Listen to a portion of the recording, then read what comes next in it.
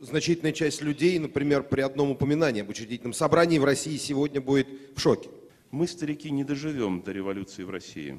А, Я бы хотелось просто вернуться к вопросу, с которого начиналось, а именно как это все может произойти. Да, вот как Ну, так? совершенно очевидно, что как бы, ну там, будущее от нас скрыто в тумане, то есть плохая новость, что мы не знаем, как это случится, хорошая новость, Путин тоже этого не знает.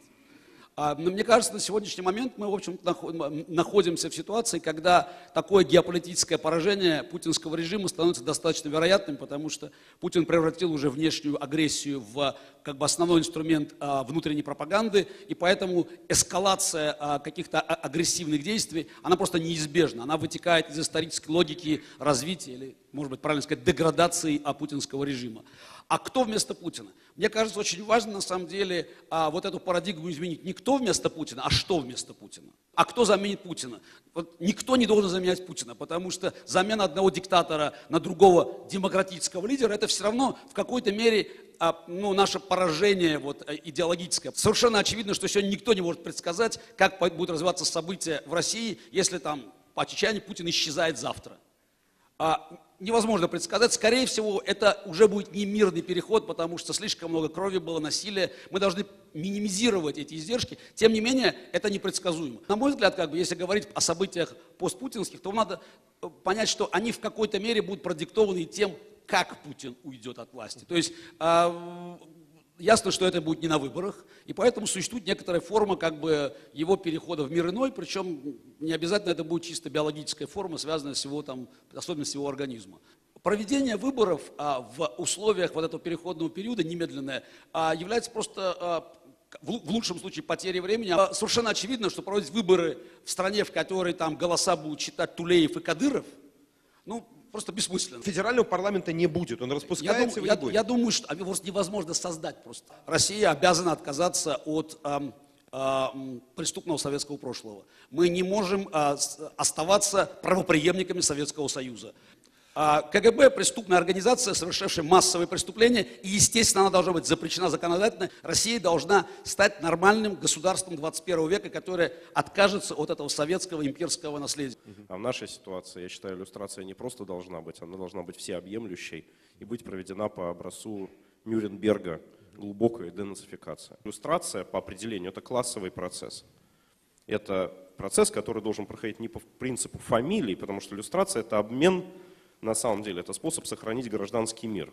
Это мы не разбираемся в то, что сделал конкретный Вася, Петя, Федя и так далее, но по факту принадлежности к определенной группе людей, члены партии «Единая Россия», э, государственные или муниципальные чиновники современной России, вот если на такую-то дату ты состоял в определенном качестве, то автоматически ты подвергаешься иллюстрации. Главная трагедия всех 25 лет наших так называемых реформ, что они и 90-е годы, и 2000-е годы, а для меня 2000-е годы являются естественным развитием 90-х, а не откатом от, от 90-х. Они углубляли отчуждение граждан от своей страны, от той структуры власти, которая создавалась в стране. Одна из первых вещей, которые я, например, точно считаю необходимо сделать в стране, это к вопросу о нищебродах, о значит, налогах и так далее. Я, например, считаю, что надо обязательно, чтобы 100% граждан страны заполняли налоговую декларацию. Я считаю, что вопрос об экономической модели э, постпутинского государства вообще не должен обсуждаться.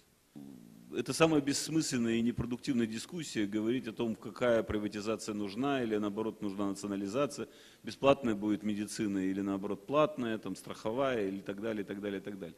Нужно э, говорить о том, какая сказать, политическая система будет в государстве, которая бы обеспечивала э, э, реальное представительство и защищала нас от сползания к тоталитаризму, к диктатуре и так далее, и так далее. Мне кажется, что нужно сделать это подробно разобраться в причинах, почему Конституция оказалась такой, какой она оказалась. Почему, так сказать, она позволила разрушить федерализм, это, так сказать, основа конституционного устройства страны, почему она позволила подмять под себя судебную власть, почему она превратила парламент в э, карикатуру, и почему она позволила, так сказать, през- президентской власти подмять под себя все, включая, так сказать, и правительство, и суды, и парламент, и медиа в конечном итоге, и так далее, и так далее. Последние 100, а может быть даже больше лет, так сказать, русской истории, к сожалению, констатируют, что э, нация больна, она так сказать, страдает некой формой шизофрении, и кажутся какие-то образы, которых в реальности не существует, там какая-то великая история, которой нет, там какие-то там чрезвычайно добрые дела, которые натворила миру, которых в реальности нет, там какие-то невероятная, так сказать, э, миролюбивая политика, которой в реальности никогда не было, там, и так далее, и так далее. И мне кажется, нужно вот некую такую э, э, самооккупацию осуществить, как бы вот э, взять и признать, что вот этих вещей мы делать не умеем. И если мы их начнем делать, то на выходе получится не избирательная машина, а автомат Калашникова.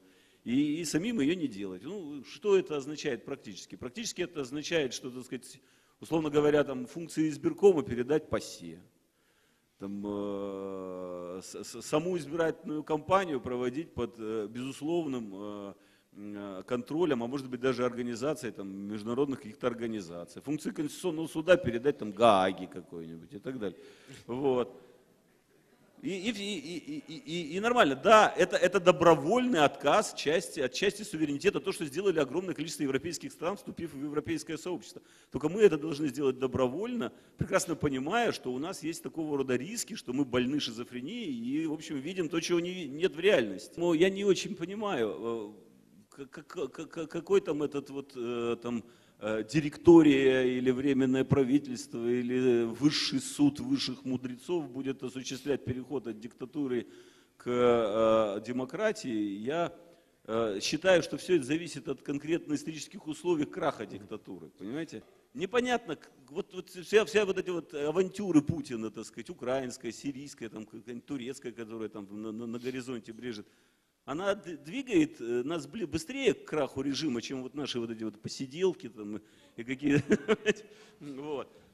Путин развязал эти войны не потому, что как бы ему там стукнуло там что-то в голову, а потому что он просто опять к этому, к этому шел, и там будет ли там конфронтация там развиваться дальше, а, конечно, ответ будет, вопрос там в Турции там, или еще где-нибудь, но именно геополитическое поражение создаст ситуацию, к которой мы должны быть готовы. Мне кажется, вот важно обсуждать, вот то, что мы сейчас, в принципе, делаем, и развивать тему о том, насколько мы готовы. Потому что Ленин не, знал, когда это случится, но тем не менее, только у Ленина оказалась готовая организация, которая была уверена, э, э, уверена в том, что она может это сделать. Надо понимать, что эта ситуация возникает уже просто. Но я говорю, достаточно исторических аналогий, она возникает.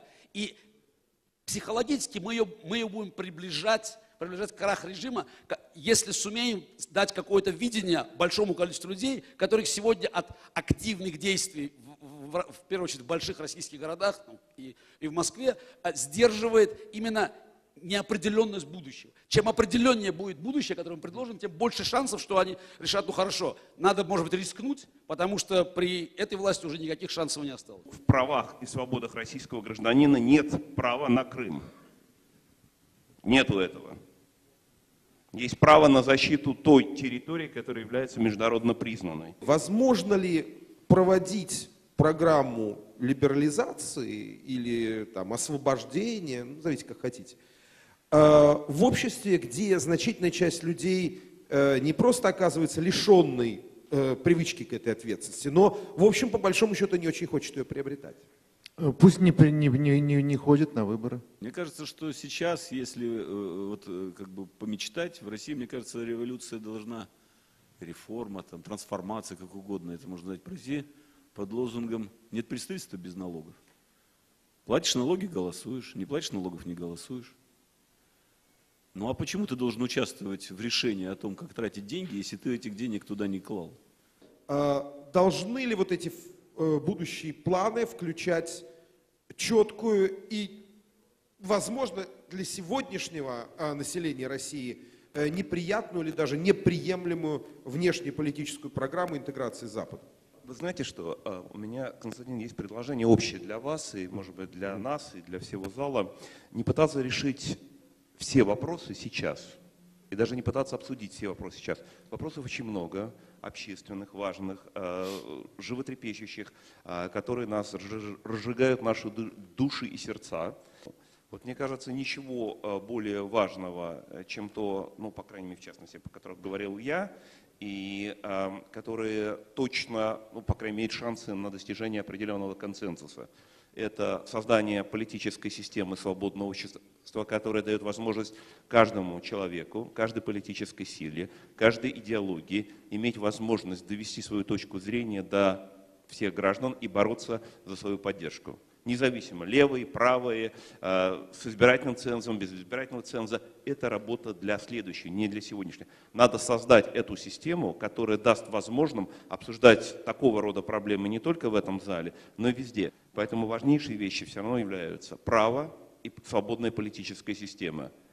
При условии, конечно, отказа от имперской политики и имперской идеологии. Я глубоко убежден, что мы должны говорить про единое содружество, ну, как минимум, наций с общей христианской э, культурой и прошлым. Потому что я считаю, что мы страны одной культуры, и у нас нет никаких принципиальных барьеров для того, чтобы Россия, Евросоюз, Соединенные Штаты жили как единое сообщество. И я считаю, что многие наши интересы, они очень сильно совпадают.